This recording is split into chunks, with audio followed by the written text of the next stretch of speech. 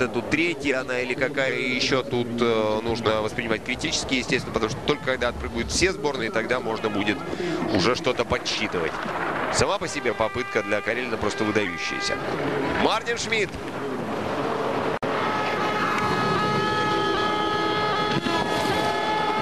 Стелился над горой приземления великий немец, человек, который, как выяснилось, любит этот спорт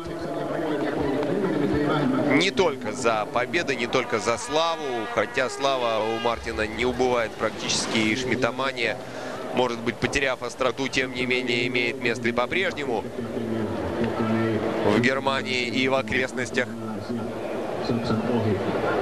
Но, несмотря ни на что, Шмидт любит выступать и даже если он завоевывает места только в десятке,